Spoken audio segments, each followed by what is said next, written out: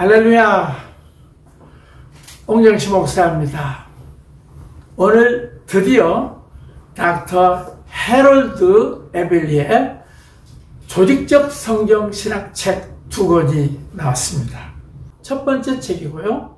그 다음에 두 번째 책입니다. 그리고 앞으로 네 권이 더 나오게 될 것입니다.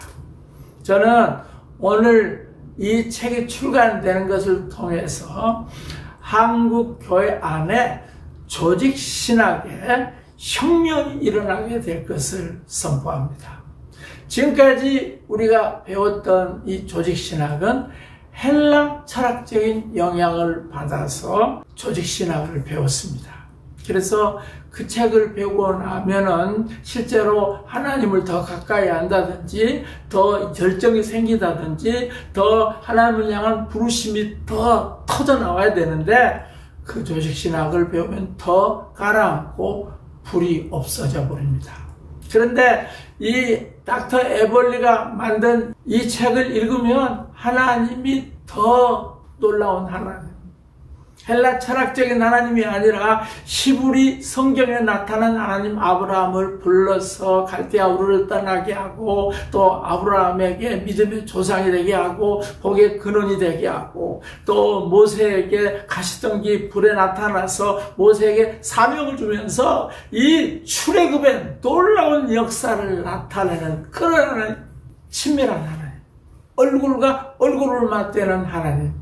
바로 예수님과 아버지 하나님과의 신학.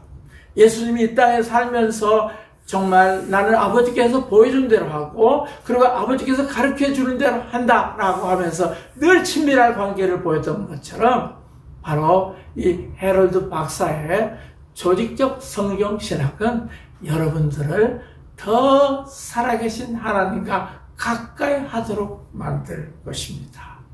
여러분 이 조직 신학 이것을 통해서 한국 교회가 개혁되는 것을 선포하고요. 이번 9월 4일 날 어, 오셔서 이 닥터 헤럴드 박사의 강의를 직접 들으실 수가 있습니다. 완전히 교회를 혁명시키는 이 조직적 성경 신학 드디어 출판됐는데 이 책들을 통해서 그리고 또 헤로드 박사의 강의를 통해서 여러분들이 정말 하나님과 더 가까이 나가는 축복이 있게 되기를 선포합니다. 할렐루야!